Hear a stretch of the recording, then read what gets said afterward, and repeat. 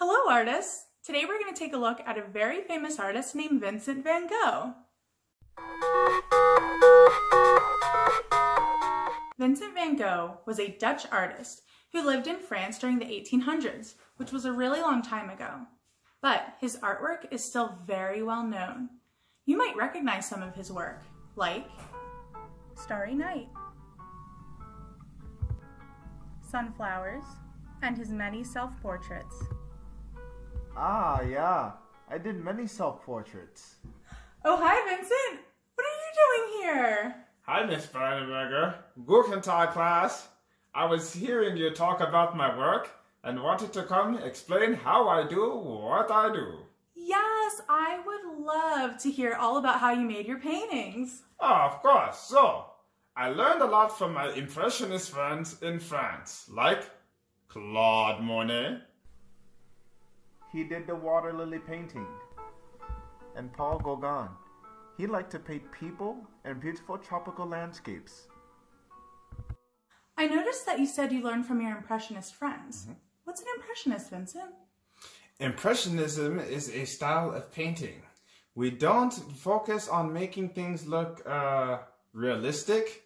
We rather paint the feeling or the mood of the scene. Let's look at one of my most famous paintings, Starry Night. Notice how you can see the brushstrokes? For impressionists like to see the paint on the canvas. We don't blend the paint together so much. We also like to show many colors at once. Look at the sky in my painting. How many different colors can you see? Wow, you used a lot of colors. My favorite part is the moon and stars. They really look like they're glowing. Yeah, the brushstrokes I use really help the painting look alive, almost like it's moving.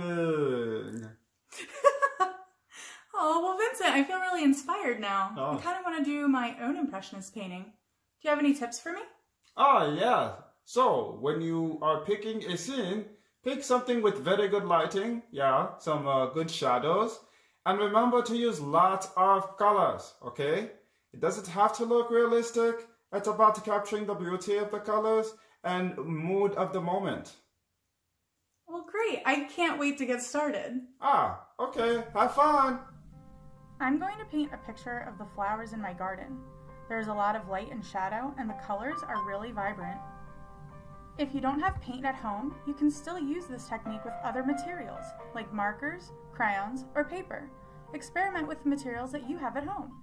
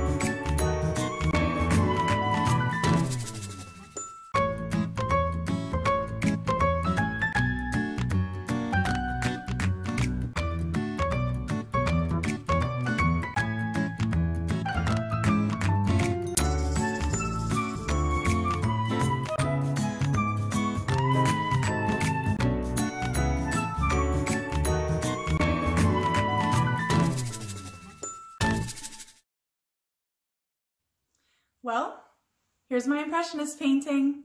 I'll call it Marigolds Dancing in the Sunlight. Wow, Miss Brandenberger. You know, for your first Impressionist painting, I have to say I'm very impressed. Vincent, thank you so much for teaching me to paint like an Impressionist. And I hope you guys try this at home too. Don't forget to send us your pictures. See you next time. Bye-bye.